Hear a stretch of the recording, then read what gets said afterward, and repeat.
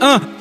Nehmt uns ruhig die Häuser, wir nehmen euch die Sicherheit. Mir scheint das Einzige, was sicher bleibt, ist, dass wenn man friedlich schweigt, am Ende nichts bleibt. Es tut mir nicht leid um eure Karren, wenn sie brennen, weil ihr Wichser seid, die anderen den Raum zum Leben nehmen. Dann genau denen erzählen, dass sie sich daneben benehmen, wenn sie dagegen Stimme erheben und es nicht hinnehmen.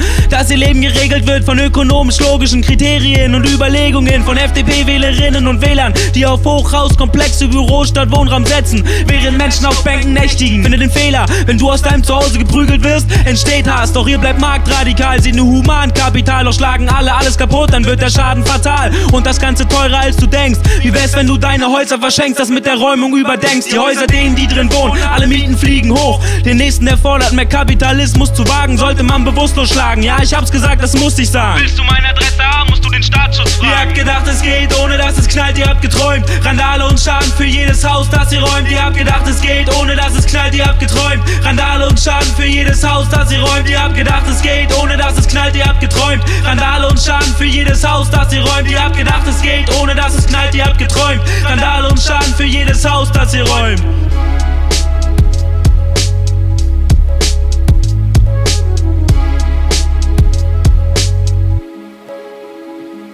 Kaum einer kann es sich noch leisten, in seinem Kiez zu leben. So streicht man die Segel angesichts unbezahlbarer Mietverträge. Kein Wunder, dass frustrierte Marginalisierte dein Beamer zerlegen und anzünden. Das ist nicht immer fair, aber immer hat's Gründe. Würde man bestimmen über euer Leben, würdet auch ihr Feuer legen. Dafür würde ich meine gottverdammte Hand ins Feuer legen. Dafür würde ich deine gottverdammte Hand ins Feuer legen. Nein, ihr seid nicht das pure Böse, nur ein Teilproblem des Ganzen. Doch die Menschen müssen handeln, darum knallt es in der Schanze. In Berlin und anderswo. Und die Verständnislosigkeit, mit der ihnen begegnet wird, ist was den Hass nach oben oben treibt. Wer Kapitalismus verteidigt, muss einsehen, dass wer Mut sich gegen Kapitalismus verteidigt. Zeit für Einsicht, das zu sagen, legitim sei dies in jedem Fall nicht falsche. So viel macht Kapitalismus doch frei nicht. Politiker und Bullen reden von kriminellen Akten, führen kriminellen Akten und wollen alle schnell verhaften. Doch wir reden nicht von Verbrechen, sondern sozialen Kämpfen. Armut und Reichtum. Wann kommt eine friedliche Demonstration denn mal in die Zeitung? Wenn es nicht kracht und knallt, findet es keine Beachtung. Verhalt und der mit mehr Kohle hat auch mehr Macht rum. Bringen Steine, Mollys Teerfarben viel mehr. Daher ist das Motto für die nächsten Male immer noch noch mehr Schaden.